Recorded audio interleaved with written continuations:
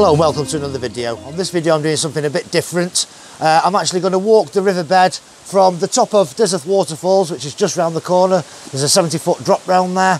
And I'm going to follow the riverbed up um, as far as I can basically. Uh, I do know that further up it does split the river. I'll tell you a bit more about that when I get there. And I'm going to try and find or follow the, the riverbed up to course. Um, when you're doing this kind of thing, obviously I've got the correct gear on.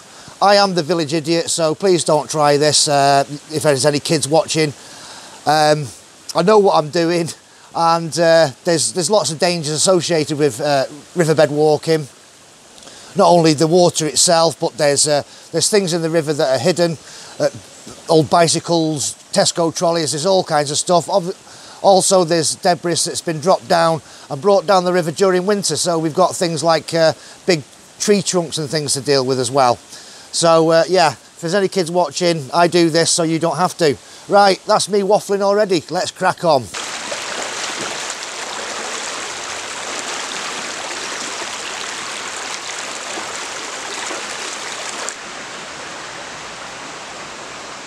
So just to the side here, there's a couple of caves.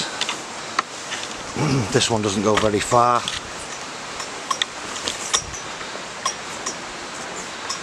That's pretty much it.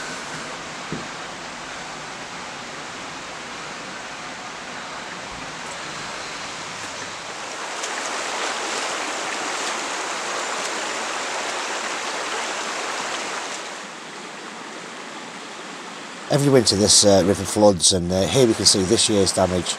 The sheer force of the water has broken this concrete bridge as if it was just a matchstick.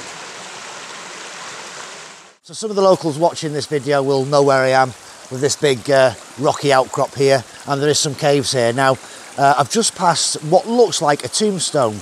Um, I suspect that it isn't uh, because tombstones usually have a date of birth, a date of death and uh, more than just a name on them. So uh, it says Windsor on there. Now, I've done a video in the past about Talargoch mines and the Windsor Clive family.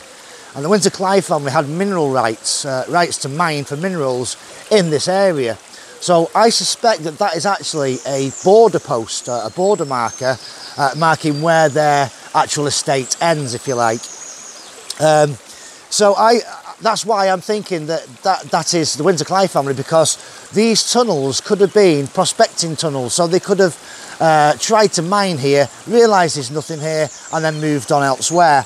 And also, you would think that this um, this could have been done by the Ice Age, but my thinking is they removed all this, or it could just be naturally formed like that. But uh, I suspect that the uh, the, the mineral company actually removed some of the rock from here. They may have found a small vein of uh, lead ore or something like that. So that's just a little bit about this, uh, this area. Let's continue on.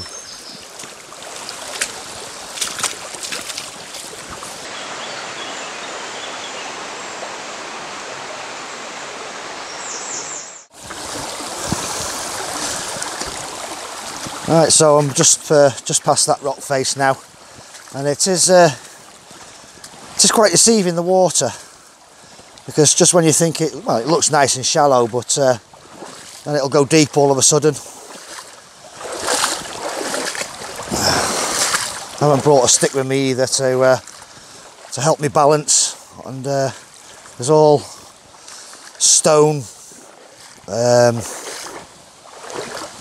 lots of loose stone in the water just here I mean, yeah, it's a riverbed, so uh, you expect that. Also, uh, just around the corner, it's quite silted up as well, so we don't want to be getting stuck there. And uh, I haven't brought my um, my mosquito spray with me, so it looks like I'm going to get bitten today as well. Right, let's crack on.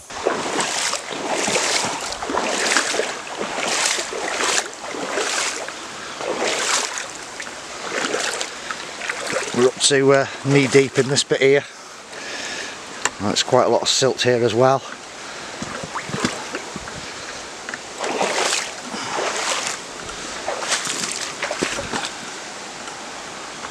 Right, I think what I'm going to do, rather than try and get through that lot down there, I'm just going to walk around on the bank and see if I can pick it up from the other side. So we've got some visitors. I think this one's called uh, Rump. That one's called sirloin. I think the other one's called T-bone. I'm not sure. There's a few more in the in the undergrowth over there. Just look back at the riverbed there.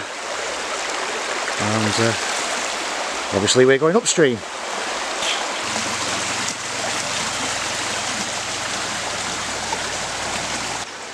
Right, so I'm just, uh, this is called Pandy Lane and a lovely couple that live in that house just there. I've just come around the corner there, which is um, around the back of Pandy Mill. Uh, I did have a, a, quick word with the owner. Told me I was trespassing. I said I did apologise and uh, he let me through kind of thing. So uh, yeah, just a warning that uh, even the riverbeds are owned by someone. So uh, yeah, if I thought about it, I should have um, really notified him before, but I wasn't aware that he owned the riverbed. So uh, yeah, if you're watching this video, which I doubt he will do, but uh, yeah, I do apologise. Right, it's going to get a bit deeper now, and uh, we've got a culvert coming up that goes under the under the road. Okay, let's, uh, let's look what's going on down here.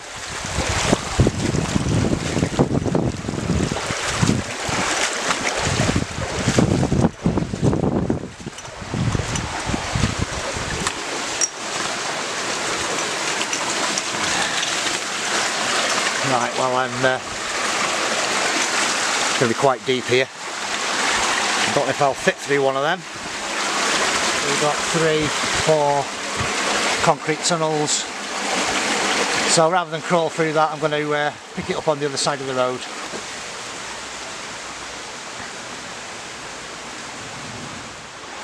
So I've been using a combination of um, actually walking in the river and using the bank. I'm just on the bank at the moment. Uh, the section just past uh, the Pandy was particularly difficult um, up to me backside in water. And because it was fast running the water I, uh, with kind of waves on the top of it I couldn't see what I was standing on or in. So yeah that was uh, clench your clench your buttock cheek time that was. Uh, this this next section is um, going to be particularly difficult as well because uh, we're going actually uphill and it's uh, in winter time it's really bad. So I'm just going to have a look. I might have to get out of the river at this point and uh, go on road and then pick it up on the other side. So yeah I can see it's pretty fast moving. So this is just up there is the walkway the start of uh, Dyserth to Prestatyn um, walkway the old railway. This is uh, an old railway bridge obviously. And uh, yeah so I'm just going to uh, get in up here and uh, have a look exactly how dangerous it is. And we'll take uh, a decision from there. Got to get back in the river. It's not too bad this bit. The problem is when the river becomes narrow it becomes a lot deeper. And obviously the water flow as well becomes a lot stronger. Um, but it's looking like uh, there's a bit of white water here so it may be innavigable, if that's even a word. Right, let's get on this bit here.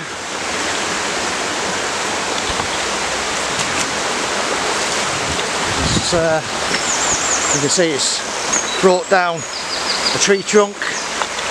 We've got uh, debris in the river here, looking pretty deep here as well.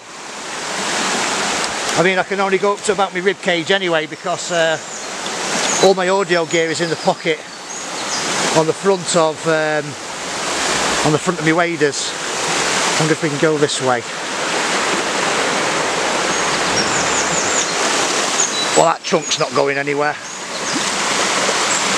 I think I'm going to have to get out of the river soon anyway because it comes comes into a culvert. Yeah, there's no way I'd attempt to, to even walk through that lot. Right, we're not doing too bad it doesn't look anything on film but that bit there is uh, pretty deep. So I thought this was a smaller culvert. Um, this is a road bridge. This is the road that goes from Dyserth to Trelawnyd uh, if anybody knows this area this is just about where Anglian Windows used to be where the new flats are now. So uh, let's see how deep it is up here. I'm a bit stuck now if we have to go back because it means I have to go through that deep section again. it's not looking too bad at the moment.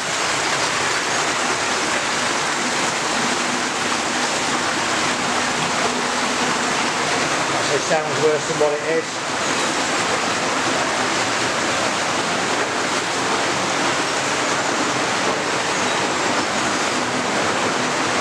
like I say, when the when the water's got uh, got the sun on it, you can't see where your footholds are. Right, the fruit's the other side.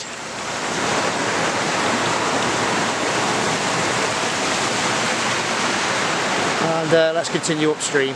Right, we're uh, we're knee deep. Uh, obviously, the river's got quite a lot narrower.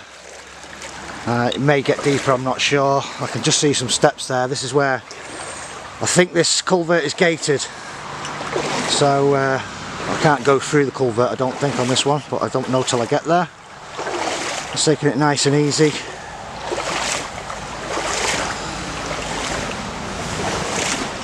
Should start to get a little bit shallower in a minute I think.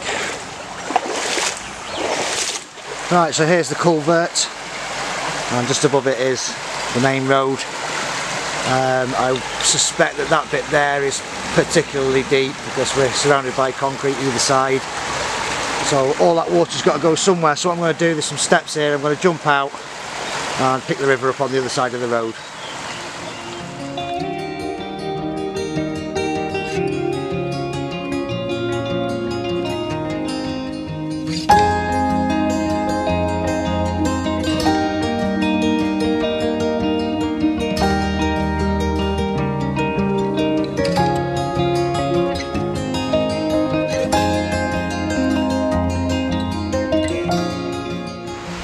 So it always amazes me how uh, summertime changes the landscape.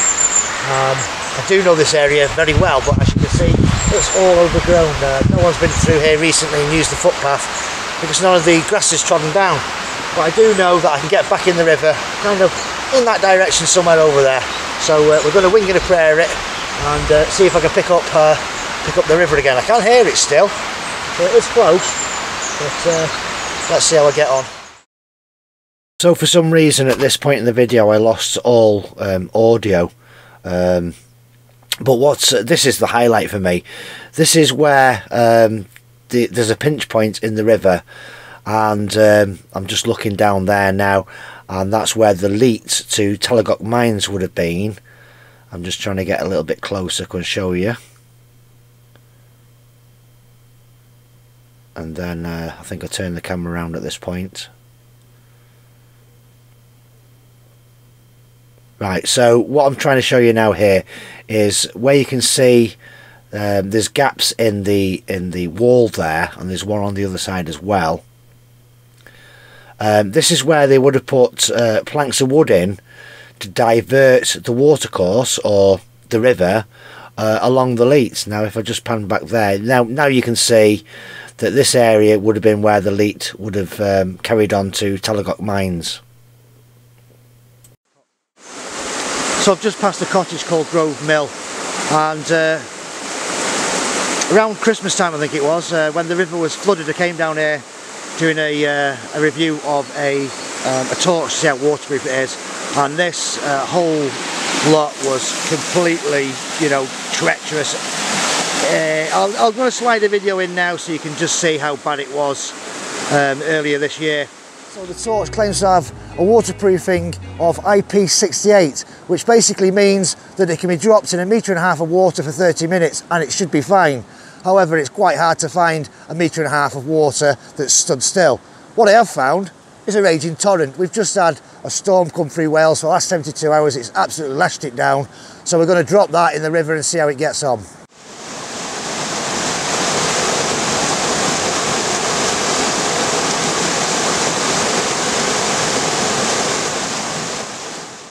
Okay, so hopefully you can see I've turned the torch on.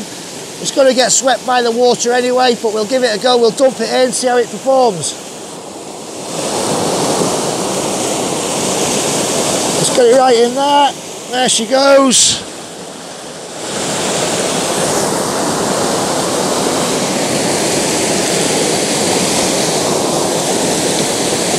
tie the tie the rope off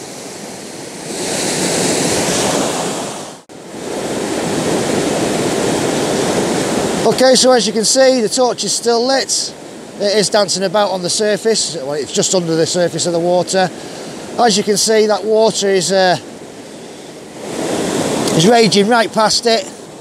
It's going to try and uh, breach the O-rings that are inside the torch. Obviously, I tightened the tail uh, of the torch up before I tried this test. But as you can see, yeah, no problem. I'm happy with that. Like I say, the water is, it is raging. Well, it's lovely when you're actually in the water, it's cooling you right down. It's a hot day today and uh, these waders are getting a bit uh, hot inside. So I'm actually at the original um, Grove Mill and I'm going to come out of the water now. I'm going to take a quick break anyway, but I'm going to show you where the, uh, the old mill is.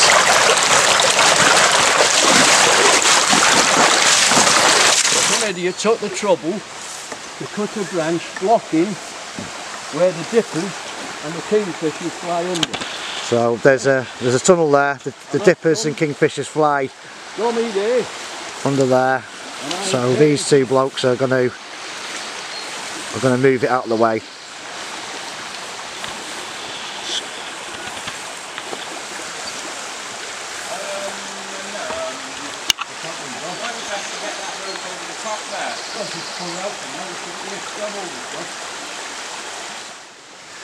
Right, so between the three of us, we managed to move that tree out of the way of the of the the tunnel there, the bridge.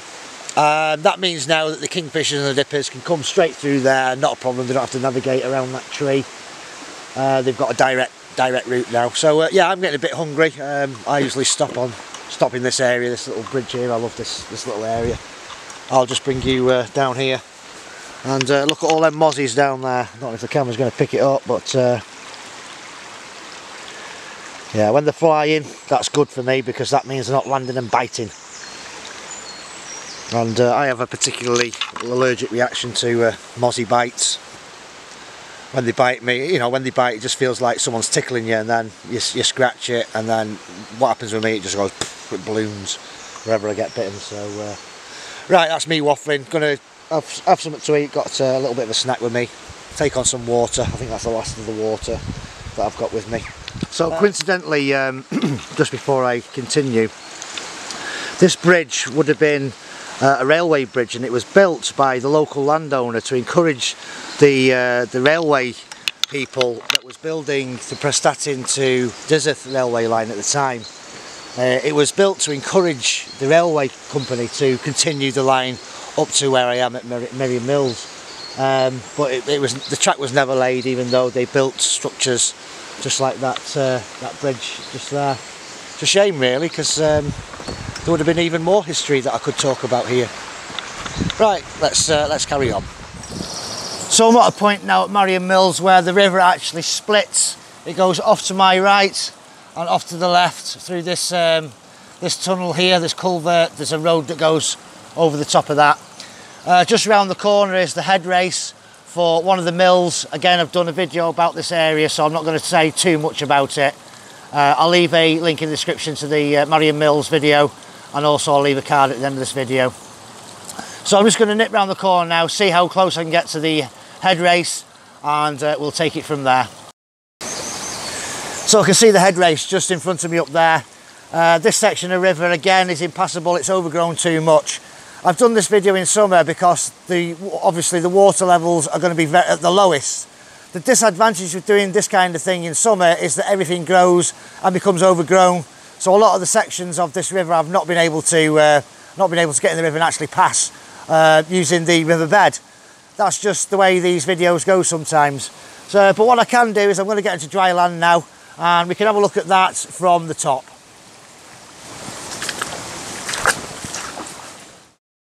And obviously you can see the head race here. This was actually a mill at one time um, and this used to power the, the water wheel. Like I say I've done a video about this uh, so I'm not going to bang on too much. And just around the corner there we can see another waterfall that just just alleviates some of the pressure from the head race